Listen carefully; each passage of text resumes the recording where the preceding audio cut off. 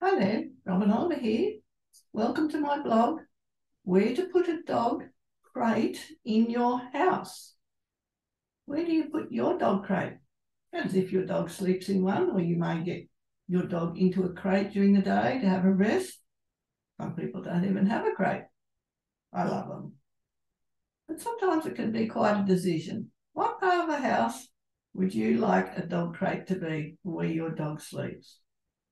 Just enjoy my blog and let me know what you think. Bye for now.